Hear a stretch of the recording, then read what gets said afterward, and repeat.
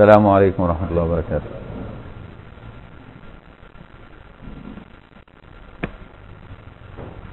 الفاتحة لمشايخنا وأساتذتنا وآبائنا وآل بيت نبينا صلى الله عليه وسلم وكل من له حق علينا ولمن أنشأ هذا المسجد جعله الله في صحيفة حسناته ونفعنا الله بعلومهم جميعا وبعلومكم في الدارين.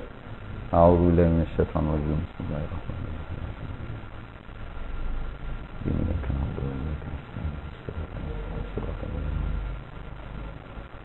شاء الله نذكركم بالاحتفال بالمولد النبوي غدا إن شاء الله في مسجد الأشراف شارع 17 في المقطم من صلاة العصر. يعني تصلوا معنا العصر. أو تصلوا معنا المغرب. واللي عايز يصلي العشاء مفيش مانع. واللي مش عايز يصلي العشاء معانا براحته. لأن الدكتور علي جمعة عامل احتفال في الأزهر بعد صلاة العشاء. ففي كثير من من المحتفلين معانا هينصرفوا بعد المغرب عشان يلحقوا يصلوا العشاء في الأزهر. لكن اللي يحب يقعد معانا مفيش مانع. اللي يحب نروح معاه الأزهر برضه مفيش مانع. حسب لكن الاحتفال أساسه هيبقى بين العصر والمغرب إن شاء الله. بحيث يصلي العصر واللي عايز ينصرف ينصرف واللي عايز يقعد ممكن نقعد إحنا نقول شوية حاجات كده.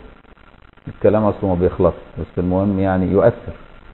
وربنا سبحانه وتعالى يعني يرحمنا جميعا وينور بصائرنا وينفعنا بما علمنا.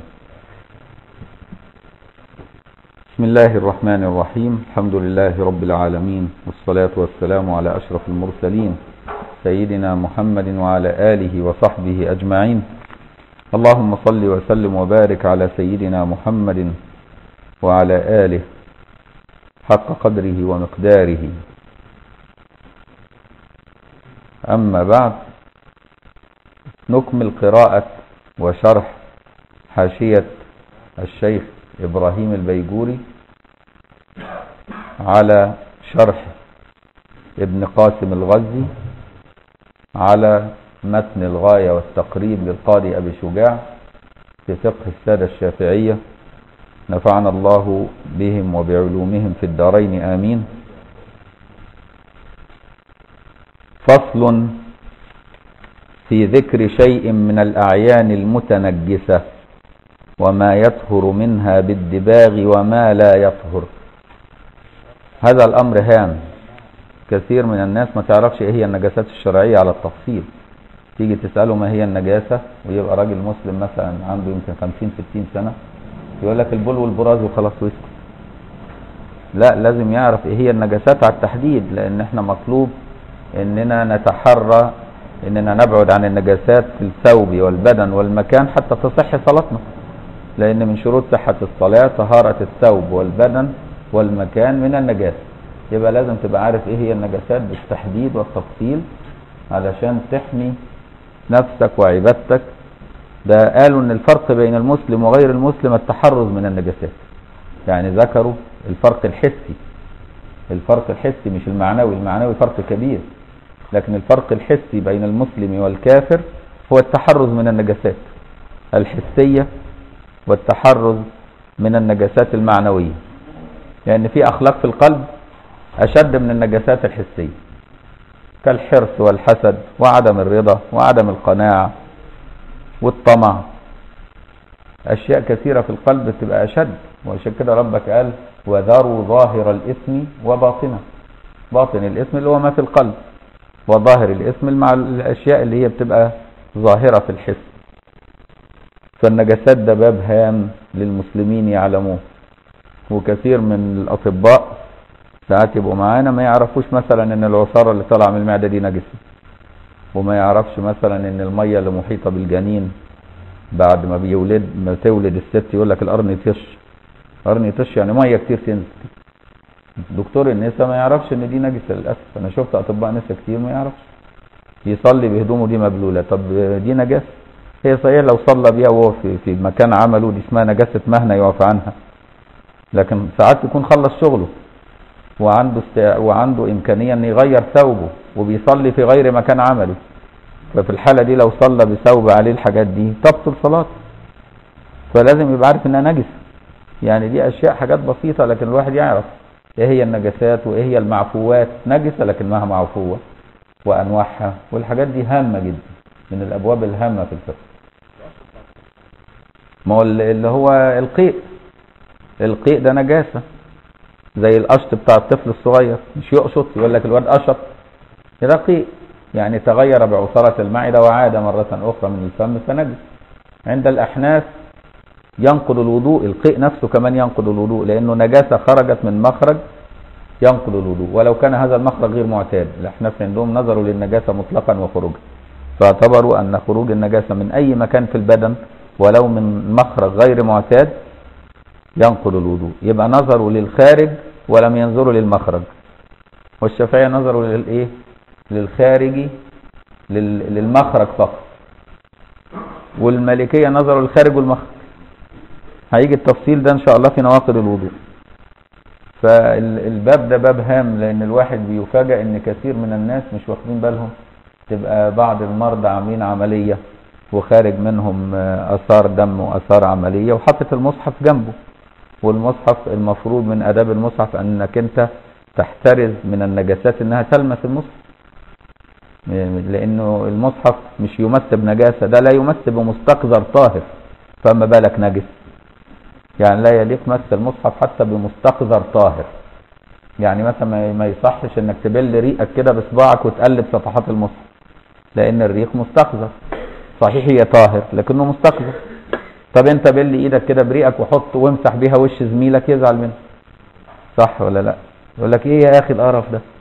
مستقذر القرف ده يعني مستقذر واخد بالك؟ يبقى لا يجوز إنك تمس المصحف تبل كده وتقلب. الكتب التانية آه قلب بالطريقة دي ما يجراش إنما المصحف لا. افرد المصحف ورقة ولازق هات مية طاهرة جنبك كده وبل إيدك بيها. وقلب ورق المصحف. إنما مش بإيدك مش بريقك يعني كل الحاجات دي الواحد يفهمها وهو بيتعامل مع كتاب الله عز وجل وبيتعامل عشان يبان كده حلاوة المسلمين في التعامل مع وسلوكهم.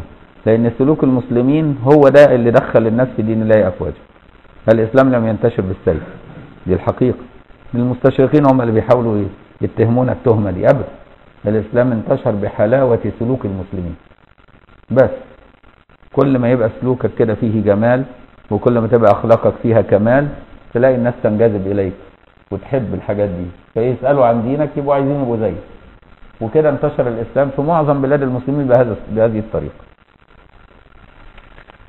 يقول فصل أي هذا فصل ومناسبة هذا الفصل الذي قبله مشاركة الدابغ للماء في التطهير لأن إحنا قايلين إن إحنا لما بنتكلم في الطهارة فالطهارة ليها وسائل ووسائل وسائل مش كده برضو؟ وسائل الطهارة الماء والتراب والدابغ. في الميتة جلود الميتة تدبغها تطهر. يبقى الدابغ ده من وسائل الطهارة مش كده برضو؟ الدباغ والاستحالة أي تحول الخمر إلى خل يطهر. يبقى دي من ضمن وسائل الطهارة الإكثار من ضمن وسائل الطهارة الإكثار. يعني عندي ماء اختلط بنجاسة ماء قليل اختلط بنجاسة. أكثر عليه مية لما يبقى فوق القلتين. طهر. يبقى بالإكثار يطهر. أو أروح كابب الميه دي في في في في مكان فيه تانك ماء واسع كبير يطهر ليه؟ لأن الماء اللي هو فوق القلتين عنده قوة على دفع النجاسة ما لم تغير صفة من صفاته لأن الرسول صلى الله عليه وسلم قال الماء طهور لا ينجسه شيء. فيبقى وسائل الطهارة إيه هي لما يجي يسألوك؟ كراجل مسلم بقى فتحت البلاد وجاهدت كده وكلنا عايزين نجاهد. ونغزو كده ونفتح بلاد الكفار. ونجمع بقى الكفار نقول لهم تعالوا يا كفار هنعلمكم الإسلام. ما هو ربنا ليه مأخر نصرة المسلمين؟ عشان الجنود المجاهدين لو دخلوا البلاد دي فاتحين ما عندهمش علم يعلموه للناس.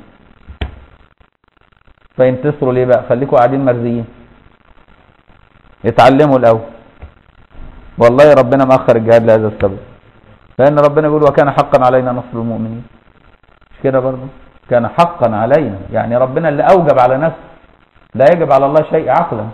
لكن هو سبحانه اللي أوجب على نفسه ذلك تفضلا. سبحانه. طب ما إحنا هو بنقول إننا مؤمنين. طب وليه ما بينصرناش؟ يعني القرآن بقى ما فيهوش صدق. لا في صدق. يبقى العيب فينا.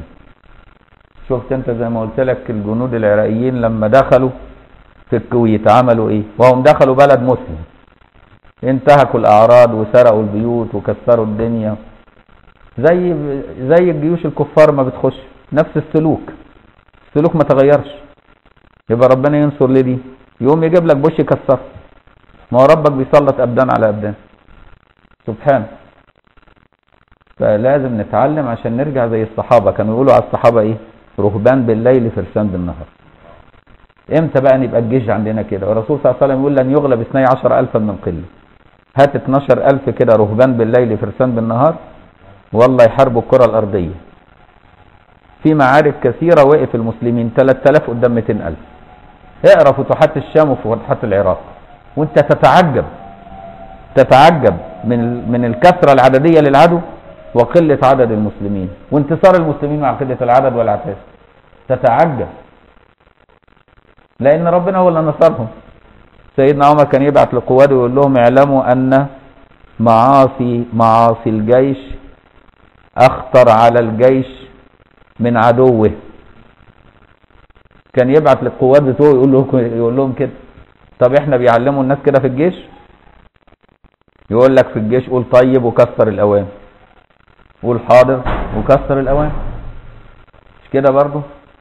يعني ما تطيعش. ما تطيعش في الفعل. لكن باللسان يعني يعلمك النفاق. ده اسمه كلام.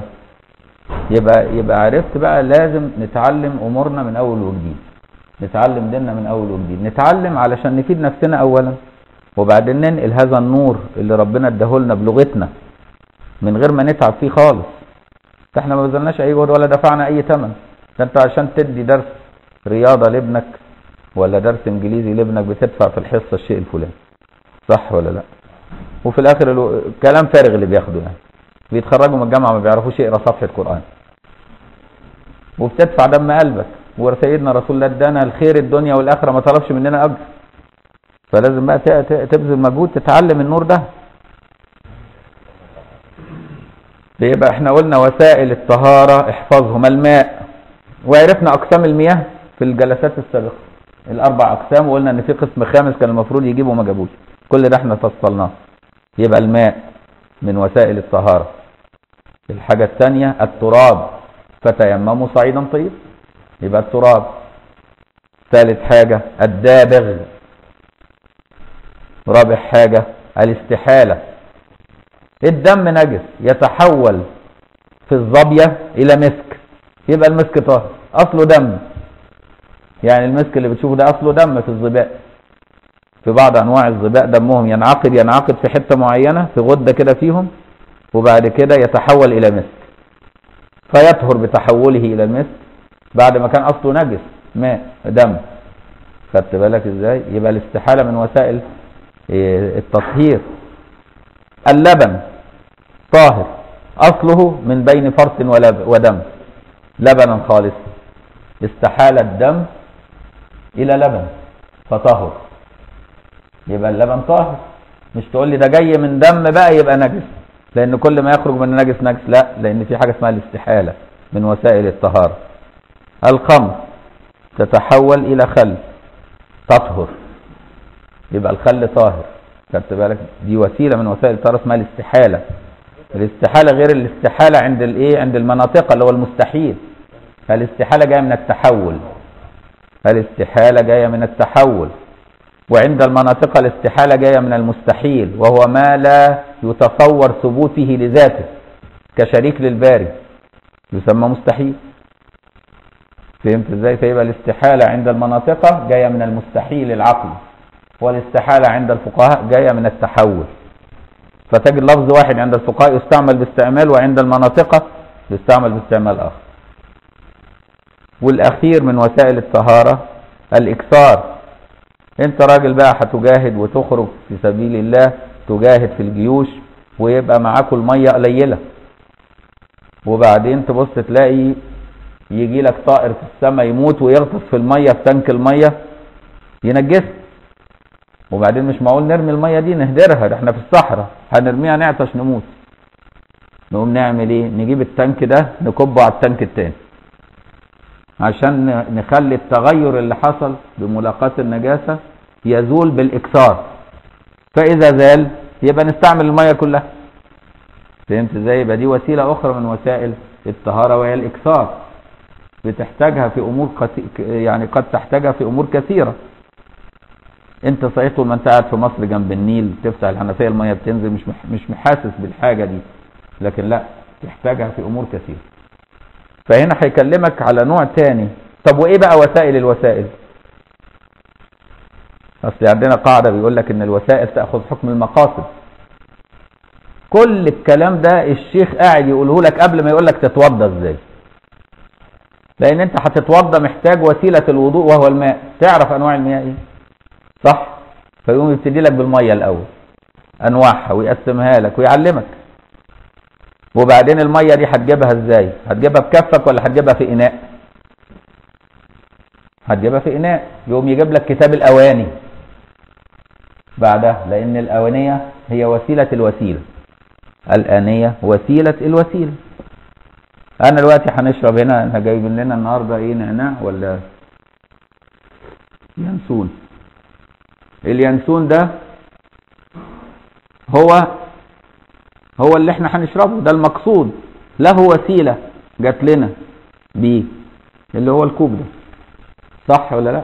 لولا الكوب ده كان هيجي لي إزاي؟ هيجي لي إزاي؟ يعني هلقطه إزاي كده؟ فيبقى لازم يجيب لك باب الآنية. شوف بقى الفقهاء بيفكروا إزاي الحلاوة بتاعت الفقهاء.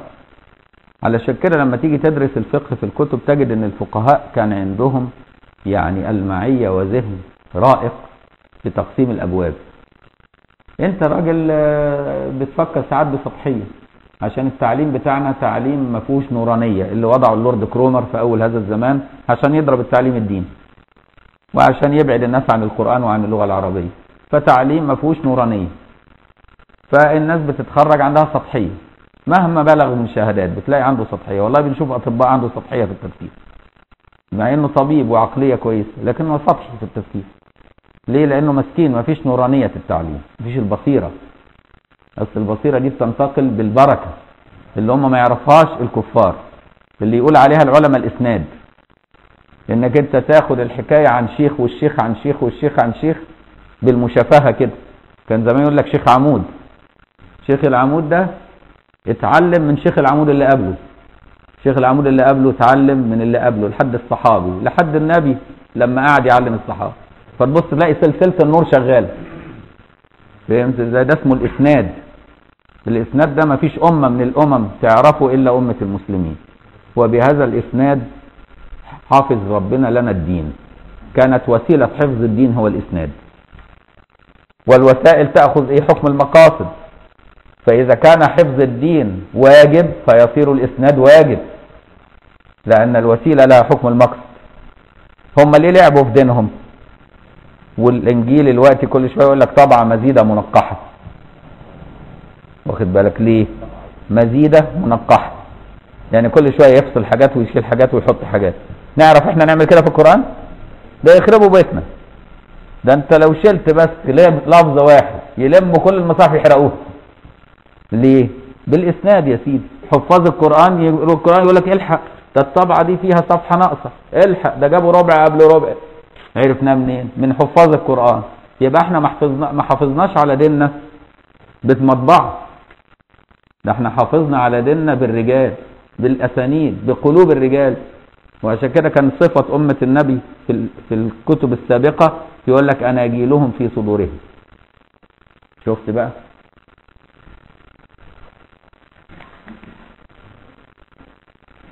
يبقى وسائل الوسائل زي ما قلنا وسائل الوسائل إيه هي؟ الانية الانية والدابغ. لأن في فرق بين الدباغ والدابغ. الدباغ هو الفعل ذاته المصدر إنما الدابغ هتبغ بإيه بقى؟ هتبغ بشطة بعصفر بملح. ولا أطبغ بإيه؟ يسموه الدابغ يسموه وسيلة الوسيلة. فهمت إزاي؟ طب أمال هي مقاصد الطهارة؟ يبقى الطهارة لها مقاصد ولها وسائل ولها وسائل وسائل. مقاصد الطهارة هي الوضوء والتيمم والغسل وإزالة النجاسة. مش كده برضه؟ هي دي المقاصد بتاعتي. أنا مقصدي بعد ما ادرس ده كله إيه؟ إن أنا أتوضى وإن أنا أغتسل وإن أنا أطهر ثوبي وأزيل النجاسة منه. وأزيل النجاسة من بدني بالاستنجاء. كل الشغلة دي كلها شوف أبواب قد إيه اتفتحت. كل ده عشان قبل ما يقول لك إزاي تتوضى شفت الفقه ماشي إزاي؟ مرتب إزاي؟ شفت أنت أمة عندها عقلية مرتبة مثل أمة المسلمين؟ عشان تعتز بأجدادك اللي هم عايزين يهزوا ثقتك فيهم. ما هم الوقت عايزين يهزوا ثقتنا في, تراثنا. وإحنا اللي علمنا الناس التفكير. أمة الإسلام مش مش تعصب. ده حتى المنصف منهم يقولوا كده. أمة المسلمين هم اللي علموا الناس إزاي يفكروا وعلموا الناس الأسانيد. كانت الأمم السابقة ما عندهمش أسانيد عشان كده ضاعت الأناجيل منهم وضاعت التوراة وحرفت. ما كانش عندهم أسانيد يحفظوها. أقدم إنجيل بينه وبين سيدنا عيسى 200 سنة مجاهيل. يعني لو ثبت عندنا حديث عن رسول الله بهذه الصورة نعتبره موضوع. حديث موضوع. يعني الإنجيل بتاعهم ده بالنسبة لنا موضوع. لأن بينه وبين سيدنا عيسى 200 سنة ما تعرفش تلعب في ال 200 سنة دي مين؟ مين قال؟ ولولا إننا عرفنا في القرآن إن سيدنا عيسى أوتي الإنجيل. فاحنا فاللي إحنا نعرفه الإنجيل الاسم بس لكن الانجيل ذاته مش موجود على وجه الأرض دلوقتي. الإنجيل بتاع سيدنا عيسى ده مش موجود على وجه الأرض. يقال إن في نسخة قديمة أقدم من النسخ المتاحة فيها صفة نبينا موجودة في الفاتيكان. هيخرجها سيدنا المهدي. محمد بن عبد الله في آخر الزمان في الفاتيكان لما يفتح الفاتيكان إن شاء الله عشان يقيم عليهم الحجة من كتبهم نفسها. لكن تعمل إيه؟ فعلشان كده لازم تحرص إنك تطلب العلم على الشيخ.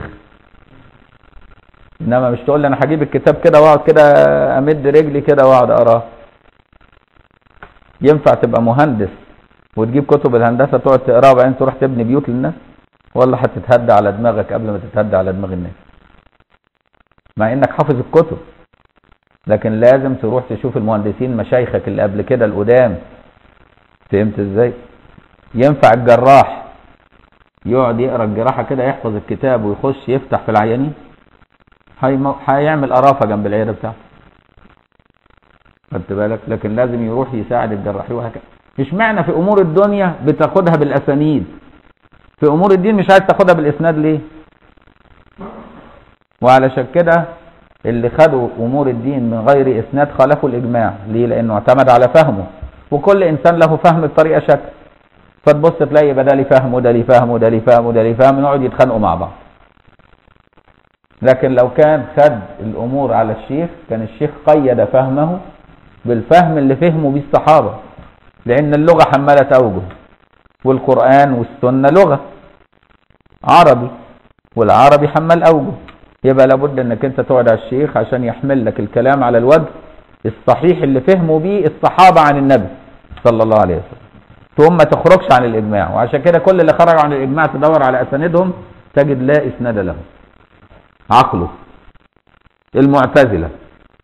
أول من اعتمدوا على عقولهم. إيه أساندهم عقلهم. ما لهمش مشايخ. خدت بالك؟ فخالفوا أهل السنة والجماعة. الإمام أحمد بن حنبل وقف ضد المعتزلة ليه؟ الإمام أحمد بن حنبل ليه مشايخه. خد الدين على المشايخ. فعرف يقف قدامهم ويصدهم. والإمام الشعبي وقف وصدهم. وغيره والأوزاعي وغيرهم وغيرهم. صدهم إزاي؟ بالأسانيد. يقول لك الكلام اللي أنتوا بتقولوه ده إحنا ما نعرفوش. إحنا فهمنا ديننا بالطريقة كذا. فهمت إزاي؟ فلازم تفهم بهذه الصورة.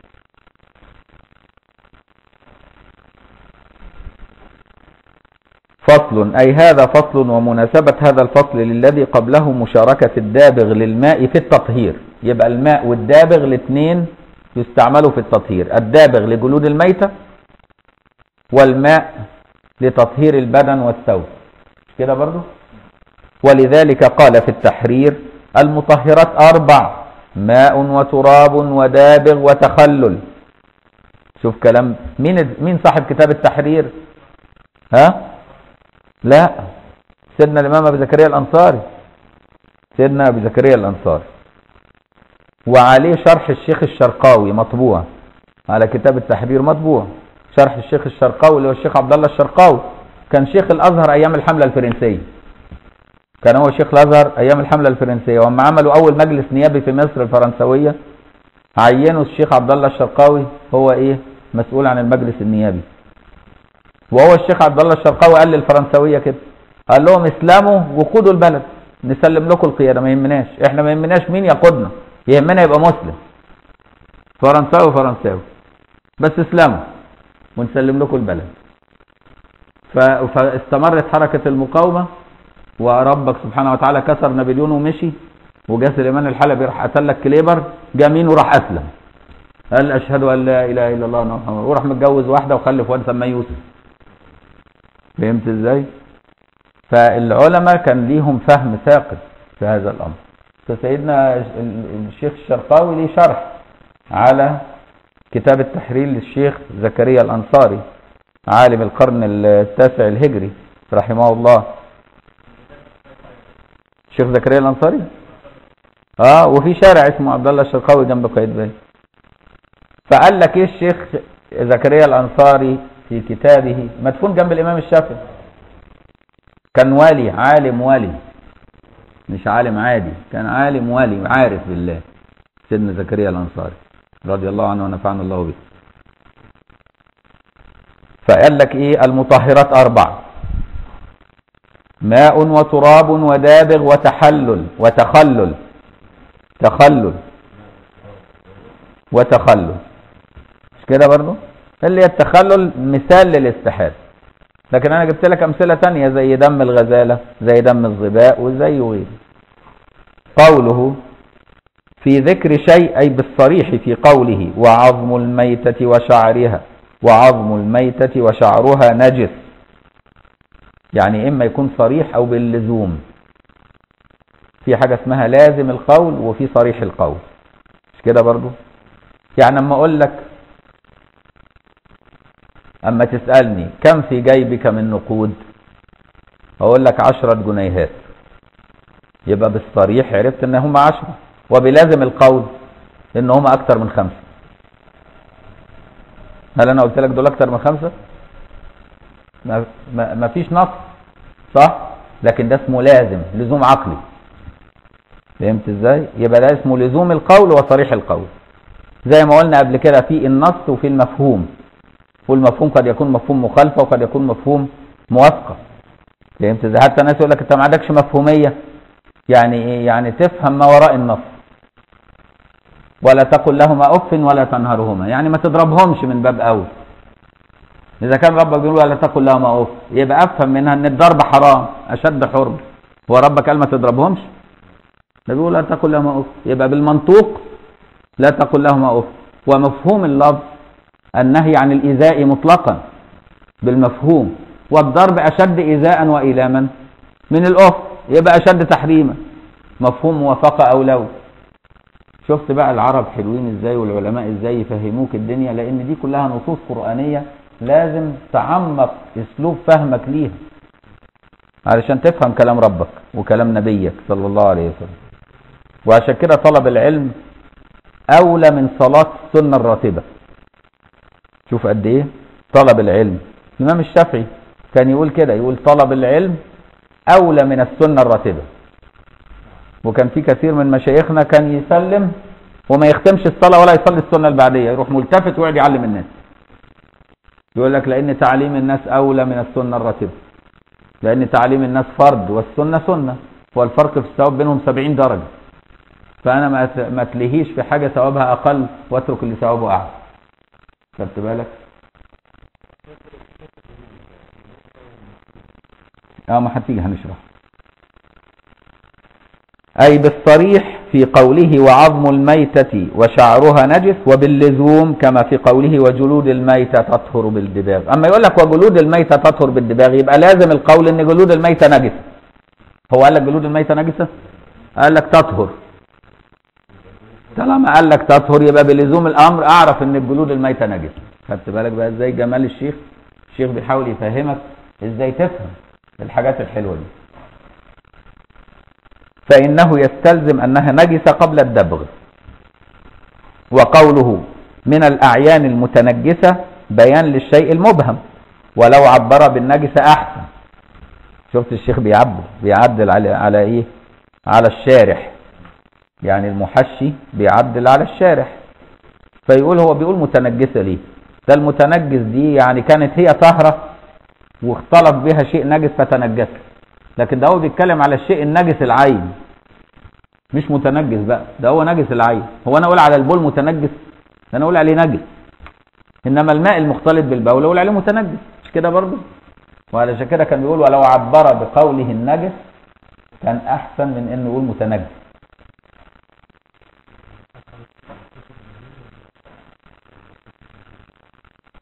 لا هنا ما قالش المحشي. ده إحنا المحشي اللي بنقرأ له الشيخ البيجوري. الشيخ البيجوري لما يقول قال المحشي يقصد إيه؟ البرماوي يقصد البرماوي اللي هو حش على على الشرح قبليه. لو هو قال بلفظه المحشي يقصد البرماوي لكن هو هنا ما جابش سيرة المحشي. ده هو نفسه كلامه. يبقى هو اللي بيعدل. الشيخ إبراهيم البيجوري نفسه هو اللي بيعدل. ولو عبر بالنجس بدل المتنجس لكان أولى لأن ما ذكره المصنف هنا نجس العين. فهمت إزاي؟ ولعلة عبر بالمتنجسة شوف بقى هو بيلتمس له العذر. بيقول لك طب وليه الشيخ عبر بالمتنجسة يعني هو فاتته يعني الحتة دي؟ ده كان شيخ أكبر مني. ده عمته أكبر من عمتي. وهو عايز يلتمس للشيخ العذر. ليه الشيخ قال متنجسة بالرغم؟ بيقول لأن هنا النجاسة طرأت عليها بالموت. ده هي طول ما هي كانت على الحيوان والحيوان صاحب يجري كانت طاهرة لما مات طروق الموت عليها نجسها فصارت متنجسة بالموت.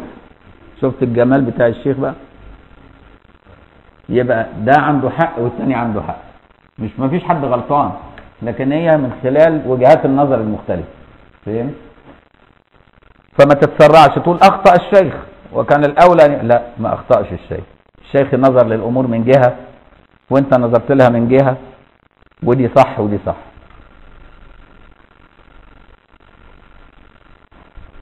ولو عبر بالنجس بدل المتنجسة لكان أولى لأن ما ذكره المصنف هنا نجس العين ولعله. مش عايز يقول خطأ بقى. ولعله عبر بالمتنجسة لترو النجاسة عليها بالموت لأنها كانت طاهرة في الحياة. واضح الكلام.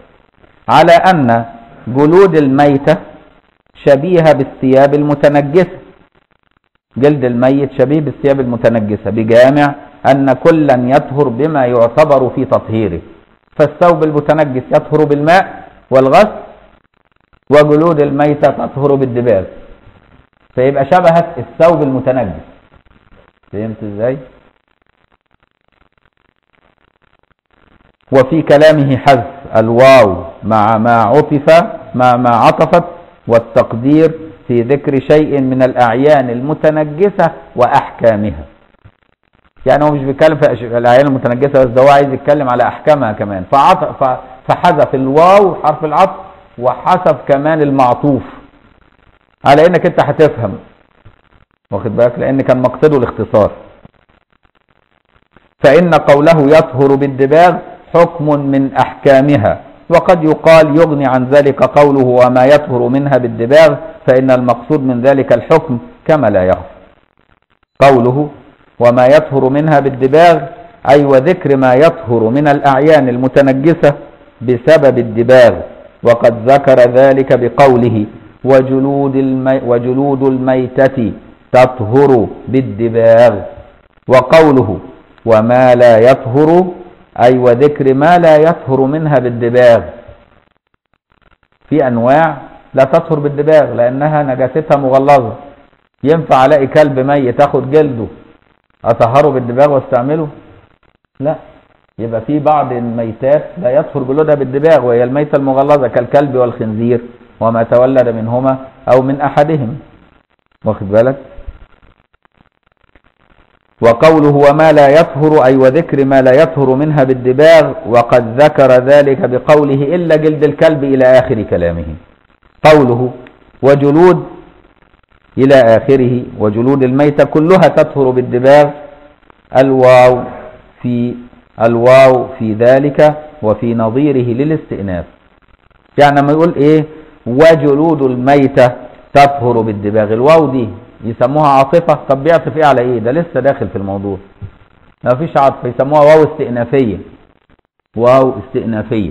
فالواو قد تكون للاستئناف يعني استئناف موضوع جديد. واخد بالك إزاي؟ زي ما نقول إيه؟ وإحنا النهارده بقى إن شاء الله هنتكلم على كذا. وإحنا ابتدينا بالواو. الله عطفنا عليه ده بداية الكلام. يبقى استئناف. الواو هنا استئنافية. مش كده برضو؟ وأحيانا تبقى الواو عاطفة. تعطف جملة على جملة أو لفظ على لفظ. وأحيانا تكون الواو للقسم. تقول والله. مش كده برضو؟ والله دي واو للقسم. ويأتي بعدها الاسم مجرور. ولا تدخل إلا على الاسم. إنما واو العطف تعطف الفعل وتعطف الاسم. يأكل ويشرب. مش كده برضو؟ ممكن تعطف الفعل على فعل. برضو كده لكن واو القسم ما تخشش إلا على الإسم. تقول إيه؟ تقول إيه؟ والشمس وضحاها والقمر إذا تلاها والنهار إذا جلاها كلها واو قسم خدت بالك؟ واللي يجي بعدها مكسور على طول. يبقى الواو لها أحوال كثيرة في العربية. قد تكون عاطفة قد تكون استئنافية قد تكون للقسم وواو القسم تعمل حرف جر. يعني حالها إنها حرف جر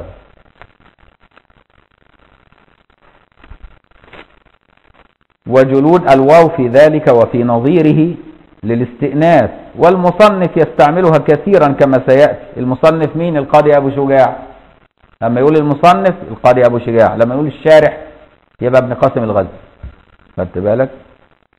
كما سيأتي في قوله وفروض الوضوء إلى آخره. ويجي في باب تاني يقول لك ونواقض الوضوء. كل دي واوات استئنافية. والأغسال المسنونة إلى آخره وهكذا. وخرج بالجلود غيرها كالشعر. لما يقول لك وجلود الميتة يطهر بالدباغ خرج الشعر. فلا يطهر بالدبغ على المعتمد. على المعت... الشعر. لا يطهر بالدبغ على المعتمد لكن يعفى عن قليله. يعفى عن قليله. وقيل أما يقول لك قيل يبقى ده وجه ضعيف. فهمت إزاي؟ لأن يسموها صيغة تمريض أو يسموها صيغة تضعيف. فما يقول لك قيل يذكر يحكى يقال. واخد بالك؟ ده دليل إن القول ده قول ضعيف. يعني بيقوله لك بس لكن ما تعملش بيه. كأنه بيقولوا لك من باب العلم بالشيء. وقيل يطهر تبعا وإن لم يتأثر بالدبغ كدن الخمر. فإنه يطهر تبعا لها. يعني القول الثاني الضعيف ده اللي قال لك إن الشعر يطهر تبعا لطهارة الجلد المتصل به قاسوا على إيه؟ على برميل الخمرة. برميل الخمرة دي طول ما الخمرة جواه منجسات طب الخمرة لما بتطهر بالتخلل تحولت إلى خل يطهر الدن نفسه اللي هو البرميل تبعا لطهارته فقال لك ما كده برضو طالما إن الجلد ده متصل بيه الشعر. إذا طهر الجلد يطهر الشعر تبعا له كطهارة الدن تبعا للخمر. شفت القياس؟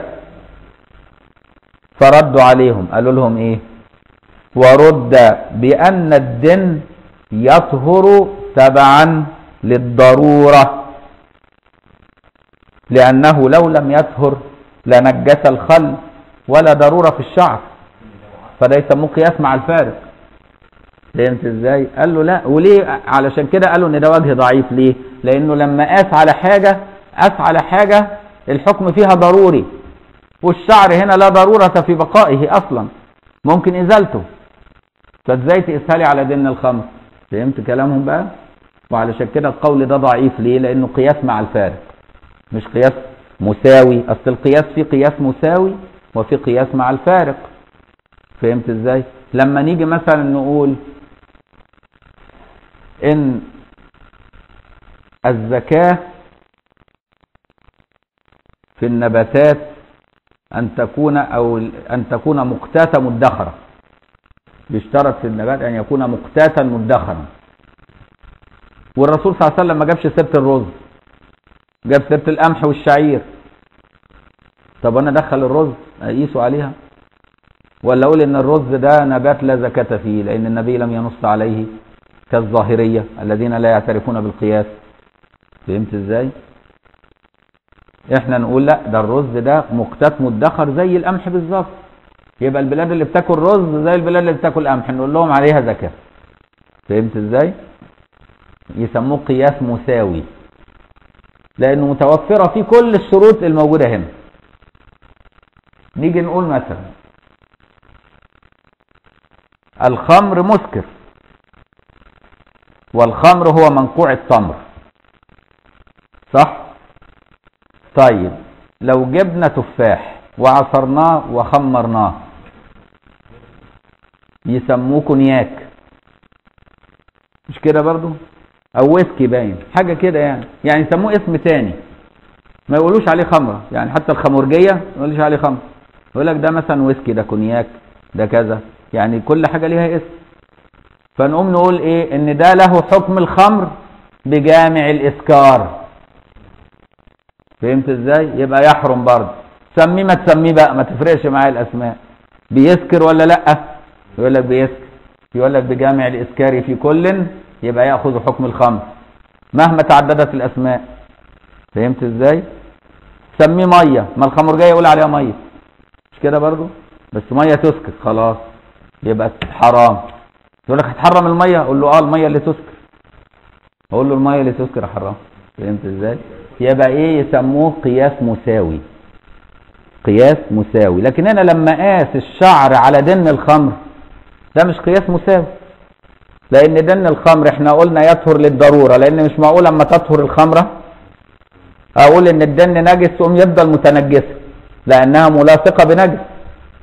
طب ما كده يبقى عمرنا ما هنطهر الخمر بقى لأن الخمر سائل محتاج الوعاء. مش حاجة صلبة أقدر أشيلها وأنقلها. ده حاجة سائلة محتاجة الإناء. فلحاجتها للإناء لكونها سائلة. صار هذا ضروري. وإحنا قايلين إذا تعثر الأمر تيسر الحكم. إن مع العسر يسرا. واخد بالك؟ المشقة تجلب التيسير. من ضمن الأصول المذاهب والقواعد المتبعة في الفقه. فلما كانت المشقة تجلب التيسير فقلنا إن دن الخمر يطهر تبعا للخمر إذا تخللت للضرورة. أنت عايز تقيس الشعر إزاي عليه؟ الشعر لا ضرورة لبقائه فيسهل إيه؟ إزالته. فهمت الفقهاء بيفكروا إزاي؟ وإمتى يضعف الرأي ده وإمتى ما يضعفوش؟ وإمتى؟ بالقياس. أيوه. يفضل نجس. باطنه نجس. ما هو طهر. طالما تخللت الخمر وهي داخل الدن طهر الدن. فهمت إزاي؟ لكن أنا لو نقلت الخمر ده من الدن ده قبل أن تتخلل يبقى الدن ده عايز الغسل. فهمت إزاي؟ لأنه متنجس. لا ما هو أصل الشعر الشعر شعر الميتة نجس العين الميتة. خد بالك ما تقسهاش ما تقسهاش على فروة الخروف بتاع العيد. لا فروة خروف العيد دي طاهرة قبل ما تدبر إحنا بنتكلم الميتة. الميتة اللي هي مش مذبوحة ذبح شرعي إن كانت مأكولة اللحم. لا أنت فروة الخروف وفروة العجل بتاع العيد ده طاهر. ده أنت بتدبغها للحفظ مش للتطهير. للحفظ بس لكن هي طاهرة. واضح؟ خلاص لأن دي لكن إحنا بنتكلم على الميتة. وأنت بتاكل الميتة؟ ده الخروف مش ميتة ده أنت الخروف ذبحته وطهرته زكيته. فهمت إزاي؟ يبقى إحنا بنتكلم على جلود الميت. لحسن تروح البيت ترمي الفروه اللي عندك؟ اوعى.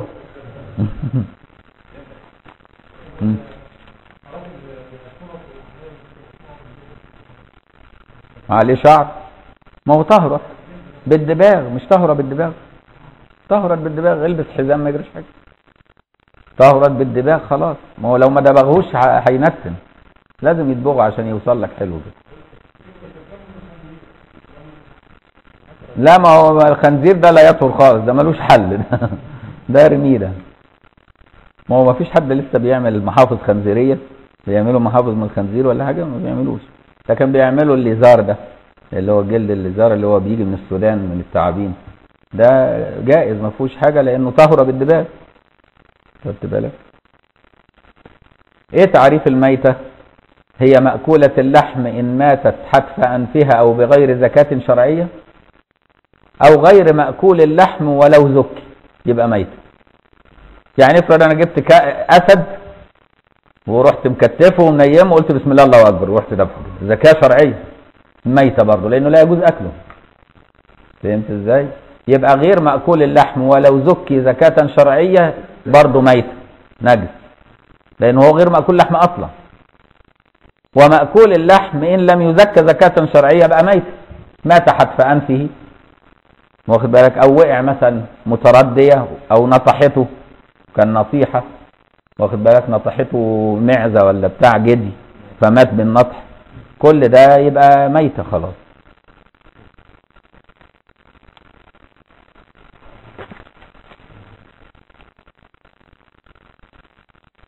قوله الميتة إنما عبر بالميتة نظرا للأغلب. أو المراد الميتة حقيقة أو حكما فلا يرد. ما لو سلخ جلد حيوان مع بقاء حياته فإن ذلك نادر. أو حيوانه في حكم الميتة. يعني أنا جبت مثلا أرنب في حال حياته كده رحت سالخ جلده في حال حياته يبقى ده ميتة برضه. لأن ما زكتوش فهمت إزاي؟ والحيوان اللي مات بعد السلخ ده ميتة برضه. ده زكيته بالذبح. يعني أنا رحت سالخ جلد الأرنب وما ذبحتوش. أصبح الجلد ده نجس لأنه ميتة وأصبح الحيوان المتبقي بغير جلد ده هيموت حتف انفه بسبب تعرضه للجو والنزيف اللي هيحصل فيه. يبقى ميتة برضه. ما ينفعش اكله ولا أعمل عليه ملوخية. أيوه. ها؟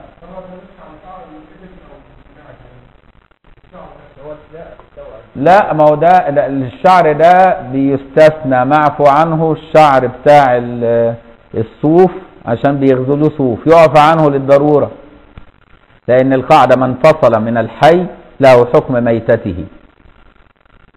قطعنا مثلا لية الخروف ما ينفعش اطبخها لأنها بقت ميتة ما طهرتش.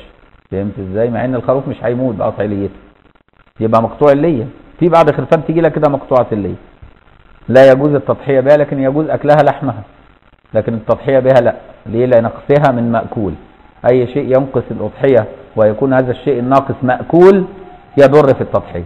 إن كان غير مأكول لا يضر. كان يكون مثلا إيه قرنها مكسور تمشي لأن القرن ما حدش بياكله. لكن ودنها مقطوعة ما ينفعش لأن في ناس تحب تاكل ودن الإيه؟ الأضحية لكن المصريين مش غاويين لكن في بعض البلاد يحب يشوحوها كده ويحمروها بيقول لك حلوة قوي إحنا ما دقناهاش لكنها مأكولة. في بعض البلاد بياكلوها فيبقى مقطوعة الأذن لا يجوز التضحية بها. حتى في البلاد التي لا تأكل الأذن يفضل الحكم مستقر.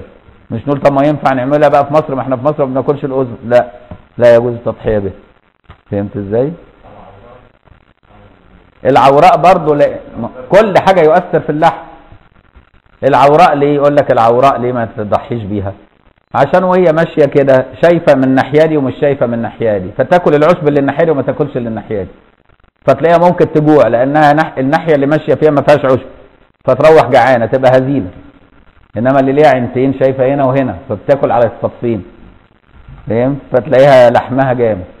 عشان كده العوراء يقول لك لا والحولاء والتولاء. المتولة. يقول لك معزة متولة.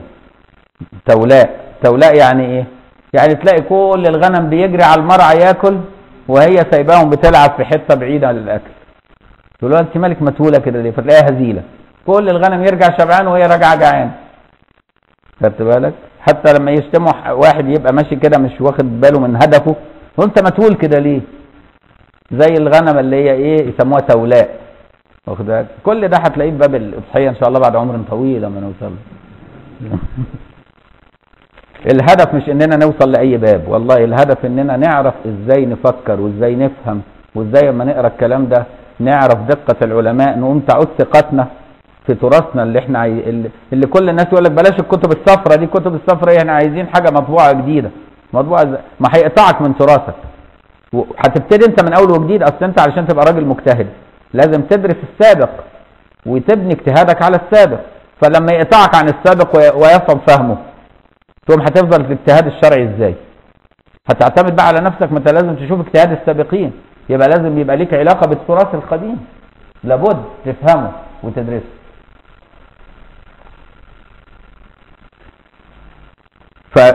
فبيقول لك فلا يرد ما لو سلخ جلد حيوان مع بقاء حياته فإن ذلك نادر ويبقى يسموها ميتة حكما مش حقيقة.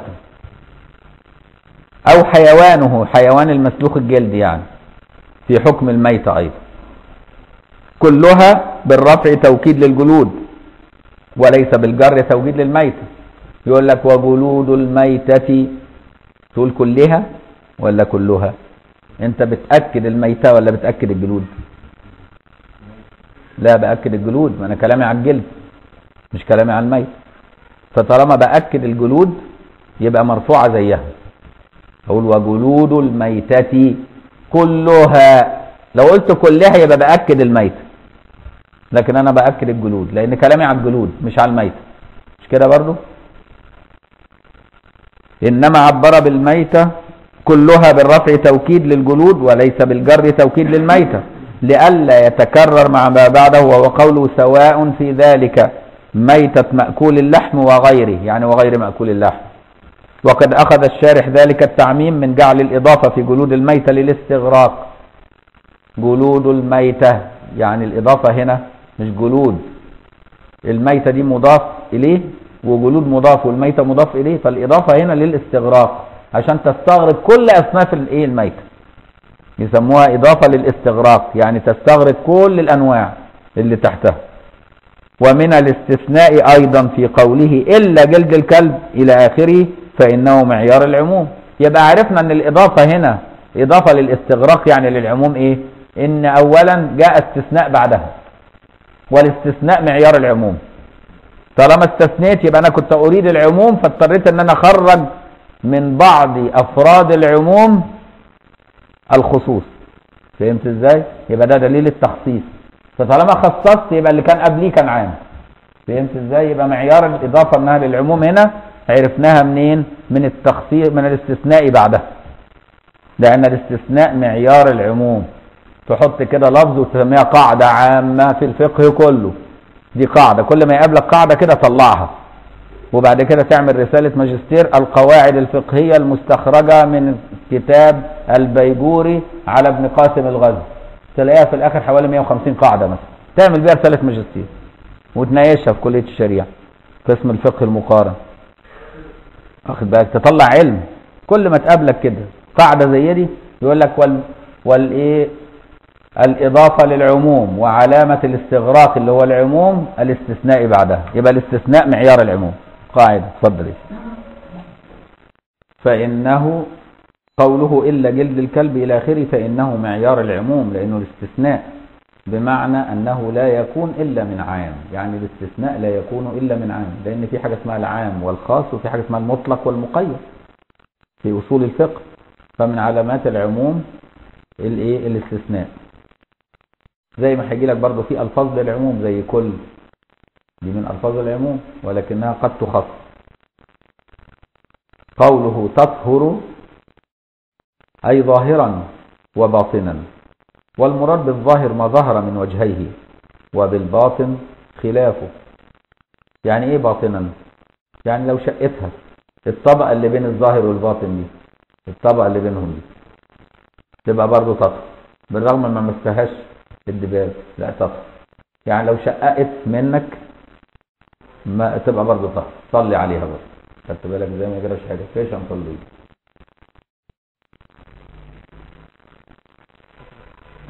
آه والله.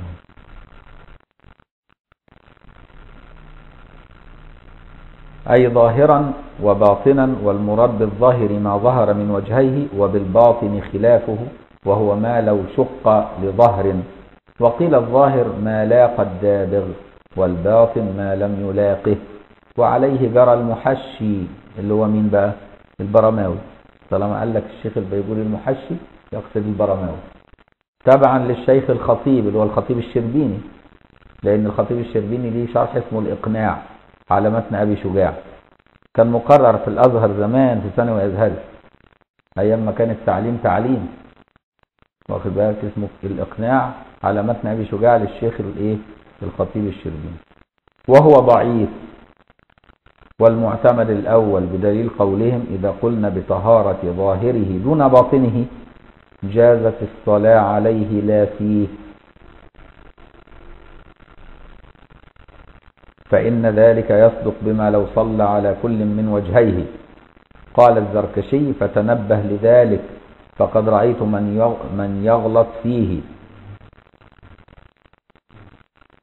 والمعتمد الأول إن هو يدخل ظاهره وباطنه سواء ما لقى الدابر أو اللي هو إيه اللي في باطننا بدليل قولهم إذا قلنا بطهارة ظاهره دون باطنه جازت الصلاة عليه لا فيه فإن ذلك يصدق بما لو صلى على كل من وجهيه. قال الزركشي فتنبه لذلك فقد رأيت من يغلط, يغلط فيه واعلم يغلط في الحكاية دي إنه لازم يصلي على الوجه اللي يلاقى الدابغ بس ما يصليش على الوجه الثاني لا قال لك لا ده بيغلط فيه كثير من الناس. صلي على وجهيه. واخد بالك إزاي؟ ما يضرش. حتى على الوجه الذي لم يلاقي الدابغ طالما طهر بالدباغ يصير كثوب تنجس واعلم أن الجلد بعد دبغه يصير كثوب تنجس لملاقاته للدبغ النجس. يعني الجلد بعد دبغه هو قبل ما يدبغ كان نجس العين. بعدما دبغ صار متنجس بالدابغ. لأن المادة الدابغة دي جت قبل الحاجات العفونة والعفونة دي نجسة فتنجست بها. ولكنها هي في نفس الوقت عملت في الجلد فخلته بقى ماسك نفسه. ففي الحالة دي لازم الجلد بعد الدباغ تغسله بالمية. لأنه صار كالثوب المتنجس. فبعد ما تدبغه اغسله مية اشطفه بالمية عشان يطهر بقى. يطهر تماما. فهمت إزاي؟ أدي معنى كلام الشيخ. واعلم أن الجلد بعد دبغه يصير كثوب تنجس لملاقاته للدابغ النجس أو الذي تنجس به فلا يصلي فيه ولا عليه قبل غسله. إحنا عندنا مذهبنا إنك تصلي فيه وعليه. تصلي فيه وعليه. فيه يعني تلفه على على جسم ادي تصلي فيه. واخد بالك؟ تعمل تعمل بلطو جلد. تعمل بلطو جلد. تروح لابسه ومصلي فيه. فهمت إزاي؟ ما يجراش حاجة. بس بشرط تغسله بعد ما يدبغ تغسله بعد ما يدبغ لأنه هو بعد الدباغ صار كالثوب المتنجس. لأنه تنجس بالدبغ نفسه اللي اختلط بإيه؟ بالأوساخ النجسة اللي كانت فيه قبل أن ينضف.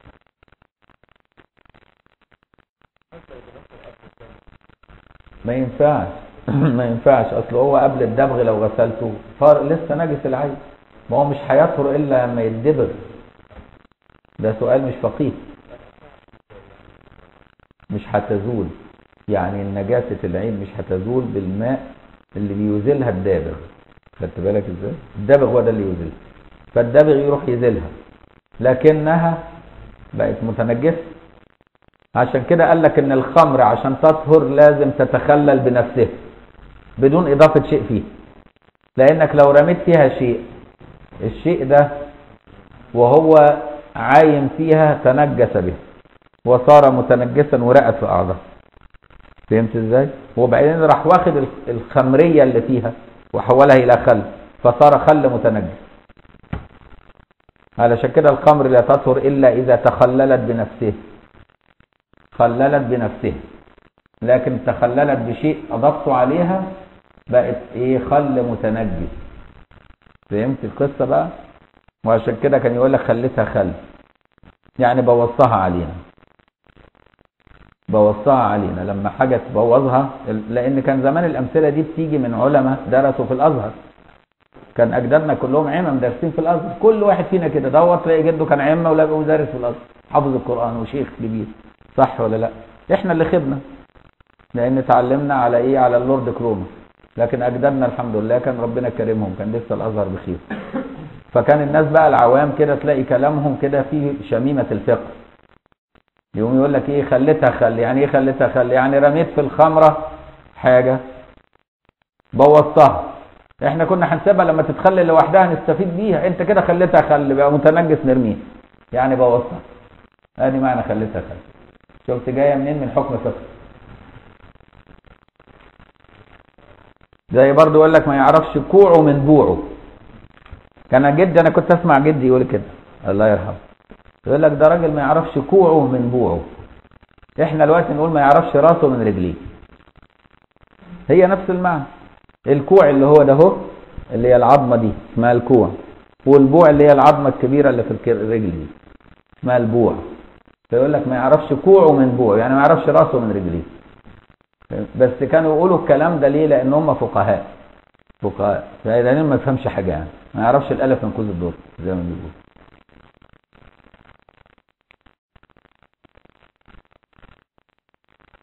بالدباغ لو عبر بالاندباغ لكان أولى. شفت كلامهم جميل قوي والله الفقهاء عندهم حس لغوي يعني. يقول لو قال بالاندباغ كان أحلى بدل ما يقول بالدباغ. لكان أولى لئلا يوهم اشتراط الفعل. أصل في فرق بالاندباغ وبالدباغ. الدباغ دل على إن في فعل فعلته أنت بالقصد عشان تدبغ. إنما افرض أنت رميت الجلد كده وجاه وكنت أنت حاطط مادة دابغة فوق الدولاب. فبيفتحوا الدولاب بيهزوه كده راحت المادة دي وقعت لوحدها وانت ما خدتش بالك. فاندبغ لوحده. يطهر برضه. يعني لا يشترط القصد هو عايز الشيخ يقول لك إنه لا يشترط القصد لحسن تفتكر إن بالدباغ هنا يعني تفتكر إن لا يطهر إلا بقصد الدباغ. فلو لو اندبغ بنفسه واخد بالك إزاي؟ بدون قصد تفتكر إنه لا يطهر. لا ده هو كان حقه يقول بالاندباغ عشان يدخل النوع ده كمان. شفت الدقة بتاعتهم؟ لو عبر بالاندباغ لكان أولى لئلا يوهم اشتراط الفعل اللي هو القصد يعني. مع أنه ليس كذلك فلو وقع الجلد على الدابغ وبالعكس فاندبغ طهر برضه. فهمت إزاي؟ سواء في ذلك أي في الحكم بطهارة الجلد بالدباغ ولا يخفى أن سواء خبر مقدم وميتة وميتة مأكول اللحم وغيره مبتدأ مؤخر. والأصل ميتة مأكول اللحم وغيره سواء.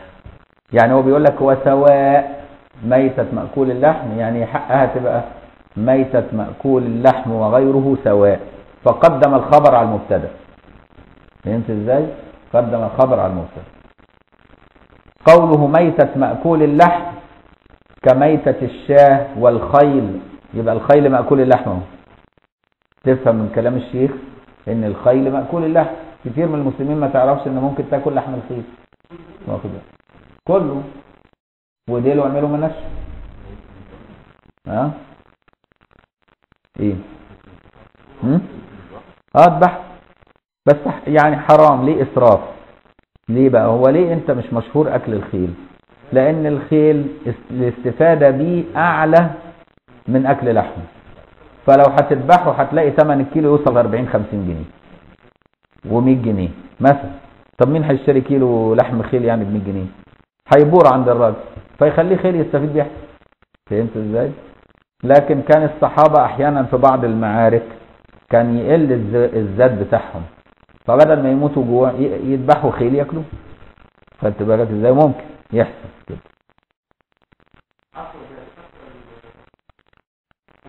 لا الحمار الوحشي. الحمار الوحشي اللي يجوز أكله. بس أما الحمر الأهلية نهى عنها صلى الله عليه وسلم. اصل لو النبي صلى الله عليه وسلم أجاز أكل الحمار الأهلي كان زمانه انقرض من زمان. لأنه ثمنه رخيص. وكل الناس هتذبحه وياكلوه.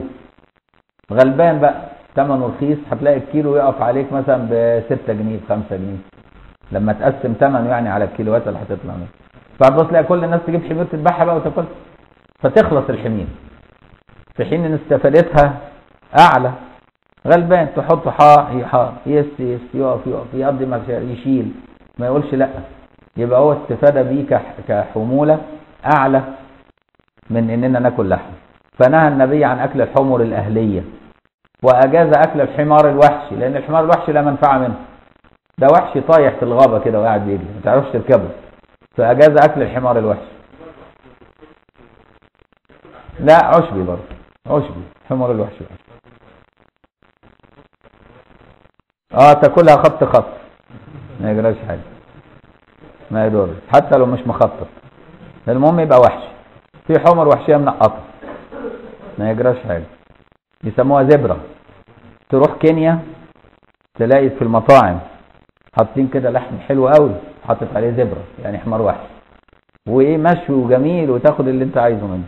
واخد بالك يجوز أكله. كينيا مسلمين على فكرة. ناس مسلمين وعارفين إنها جائز أكلها عشان كده بيحطوها عندهم غابات كتيرة ومليانة حمار وحشة. يصطادوها. وفي حجة النبي صلى الله عليه وسلم واحد من الصحابة اصطاد حمار وحش. واكلوه الصحابة. واخد بالك إزاي؟ طالما ما اعانوش على صيده ولا أشاروا إليه يجوز أكل الصيد إن لم تعن عليه ولا تشر إليه. ولا يحل الصيد للمحرم ولا الإعانة عليه. ها؟ مش حرم عليكم صيد البر ما دمتم حرمة؟ يبقى لا يجوز إنك تاكل صيد البر طالما أنت محرم. لكن افرض واحد اصطاده بدون أنت ما تشاور له عليه ولا تعينه عليه يعني تناول له السهم. ما هو جه صحابي شاف حمار وحشي وما كانش محرم. الصحابه كلهم محرمين. فإيه؟ كلهم بصوا الجهة بتاع الحمار. ما يقصدوش يعني يقولوا له اهي هم زي أي إنسان عادي يبص على الحاجة اللي بتتحرك قدامه فهم لما شافهم بصوا بص كده لقى الحمار وهو ما كانش واحد فركب الفرس بسرعة عايز يصطاد وقع منه القوس. فبقول لهم ناولهوني قالوا له لا والله. لأن لو اعانوه مش هياكلوا منه. لو اعانوه فراح نازل تاني وراح واخده واصطادوا فكلوا منه. شفت الصحابة فقهاء إزاي؟ فقهاء كبار. تقرأ الحديث ده في صحيح مسلم. واخد بالك؟ ها؟ مأكول اللحم إما يكون منصوص عليه. واخد بالك إزاي؟ أو يكون وغير مأكول اللحم أو يكون غير منصوص يكون برضه منصوص عليه. الرسول صلى الله عليه وسلم نهى عن كل ذي مخلب وذي ناب يبقى كل حاجة مفترسة حرام أكلها واتضح إن فيها حكمة كبيرة. عارف مرض جنون البقر جه منين؟ إن حولوا الحيوانات العشبية إلى حيوانات تأكل الدم. فلما تحولت إلى أكلة دم تغير لحمها فبقت بتمرض. فبقت تجيب مرض جنون البقر.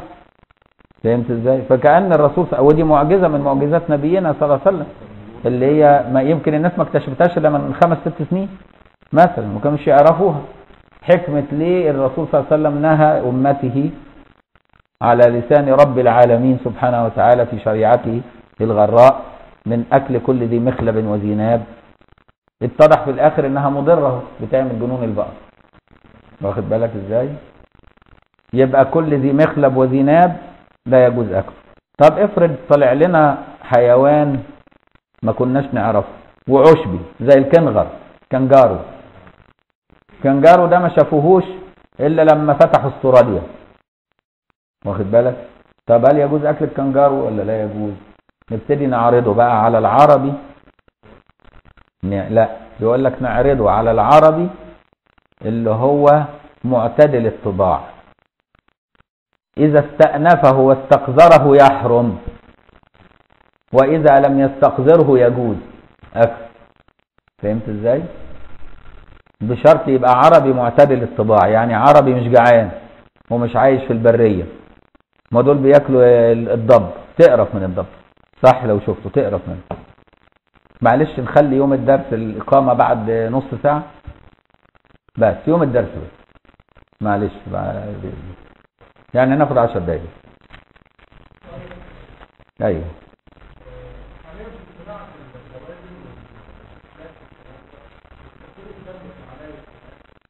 لا كده غلط. بيبقى على فكرة مضر مضر صحيا. ما هو ما تاكلوش. ها؟ حاول بقى بقدر الإمكان القائم. المفروض الناس القائمين عليها من المسلمين يتقوا الله في صحة المسلمين. واخد بالك؟ والله كل ما تقدر تتجنبه يبقى أحسن. هما بيجيبوا العظام دي منين؟ من السلخانة. ولا بيجيب عظام حمير ميتة؟ يعني استعني بس. يعني هل هو بيجيب الحاجات دي نجسة ولا حاجات طاهرة؟ ما لو عظام حيوان مأكول اللحم بعد ذبحه يبقى ده بيستعمل أكل طاهر بس منه حاجة حيوانية بيديها لطائر عشبي ممكن يعمل له خلل لكن يبقى يجوز أكله. بس مع كونه مضر على المدى البعيد. فهمت إزاي؟ فننصح بعدم أكله ولا نحرمه. ما هو الفقيه يفكر بالطريقة دي. لكن لو كان من حيوان غير مأكول اللحم أو عظام ميتة يبقى استعمل نجاسة فصار جلالة. والجلالة نهى الرسول صلى الله عليه وسلم عن أكل لحمها اللي هو بي- بينمو بالنجاسة حتى تحبسها وتطعمها طعام طاهر مدة كافية فيتغير لحمها وبعدين تاكلها. خدت بالك؟ يبقى دي ليها حكم. هو المفروض إحنا هقول لك المشكلة إن الوقت بسبب جهل المسلمين بأحكام دينهم أصبح أي واحد عايز يستثمر ماله بينطلق يقلد الكفار في استثمارات أموالهم. خدت بالك إزاي؟ فبيشوف المزارع في أوروبا بيأكلوا إيه وبيعملوا إيه عشان يربي لحم بسرعة ويقلد ويعمل نسخة طبق الأصل. المفروض المسلم العالم بدينه اللي يريد إنه يتحرى الحلال في رزقه ولا يضر الناس بالبضاعة اللي هيعرضها ليهم انه هو ياخد الفكرة من الكافر. المفيدة للمسلمين يمنع عنها الحاجات الخطأ في الإسلام وياخد الحاجة الكويسة لأن الحكمة ضلت المؤمن فالمفروض أن الناس القائمين على هذا يتعلموا الفقه ويتعلموا ما يجوز أكله وما لا يجوز أكله علشان ما يضروش المسلمين. لأن الوقت انتشر فشل كلوي وناس في المنصورة في معهد المنصورة بتاع الكلى أثبتوا في فترة أيام الفراخ المزارع إن لها اللي كانت بتاخد هرمونات إن لها علاقة قوية وكبيرة جدا في نسبة كبيرة من الناس اللي جالهم فشل كلوي من أكلها. وإحنا بنلاحظ دلوقتي كثير من الشباب اللي متجوزين حديثا بيبقى عنده تأخر في الإنجاب ويجي يلف على الدكاترة. مش الراجل كامل من مجاميعه وما بينجبش. ليه ما بينجبش؟ تدور عليه تكشف لي يا سيلين. تسأله يقول لك أصل من صغري بناكل الفراخ المزارع دي. كل يوم أمه تعمل له فراخ مزارع وتدي له نص فرخة. الله. لما بقى جسمه مليان هرمونات بكمية تركيز عالي فعملت تثبيط للخصية. فأصبحت خصيته ما بتنتجش كويس. خدت بالك إزاي؟ فكل الحاجات دي مضرة. يعني تبص تلاقي الجدع ده نقول له ما تاكلش الفراخ دي لمدة سنتين يجي لك بعد سنتين مراته حامل وبقى كويس. خلاص. خف. بتحصل. يعني بيبان مضار الحاجات دي كلها يعني وإحنا مش واخدين بالنا.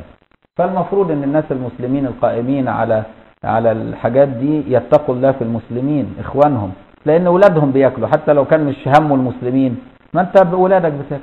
واللي قائمين في المزارع برضه ما يرشش الحاجات بالحاجة المضرة.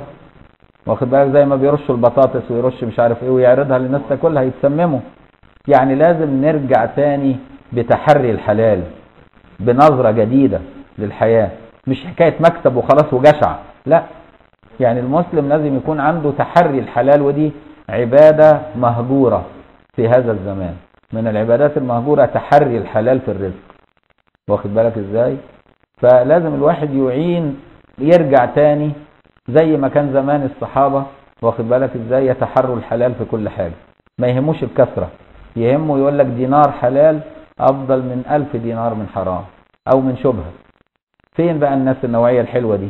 تتغير وجه الحياة عندنا. هنقف على جملة بس عشان نقيم الصلاة. فبيقول ميتة مأكول اللحم كميتة الشاة والخيل وقوله وغيره أي وميتة غير مأكول اللحم كميتة الحمير والذئب. دي غير مأكولة اللحم. وكيفية الدبغ أي وصفة الدبغ المقصود منه فكأنه قال ومقصود الدبغ ولو عبر بذلك لكان أظهر. لأن المتبادر من الكيفية أن يأتي بالدابغ ويضعه على الجلد مثلا وليس مراد. يعني هو المراد يبين لك مقصود الدبغ إيه مش كيفيته هتعمل إيه. مش هو بقى كتاب أبلة نظيرة إزاي تطبخ. لا ده ده كتاب فقه. عايز يقول لك مش كيفيته يقول لك مقصود الدبغ. فهمت إزاي؟ فبيقول لو عبر عن مقصود الدبغ لكان أولى من تعبيري عن الكيفية لأن الكيفية حقه يقول لك المقدار والمدة ويقعد قد إيه ويتعرض للشمس ولا ما يتعرضش. يبقى اسمها كيفية. لكن هو كلم قال لك كيفية الدبغ وكلمك على مقصود الدبغ. فكان الأولى كان يقول مقصود الدبغ. فهمت إزاي؟ ده كلامه. ونقف عند هذا. إن شاء الله نكمل يوم السبت القادم. وجزاكم الله خير. اللهم علمنا اللهم فقهنا اللهم نورنا بنور نبينا محمد صلى الله عليه وآله وسلم. يسر أمورنا واغفر ذنوبنا واستر عيوبنا. بلغنا مما يرضيك آملنا. علمنا ما ينفعنا وانفعنا بما علمتنا وزدنا علما.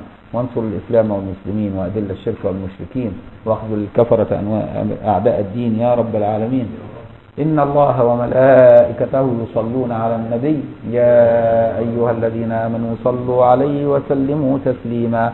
اللهم صل أفضل صلاة على أسعاد مخلوقاتك سيدنا محمد وعلى آله وصحبه وسلم عدد معلوماتك ومداد كلماتك.